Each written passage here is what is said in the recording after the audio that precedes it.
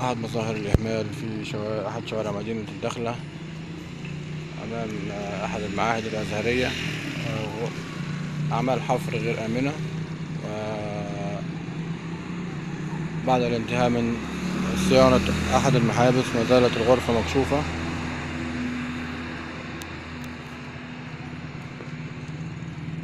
زي ما إحنا شايفين.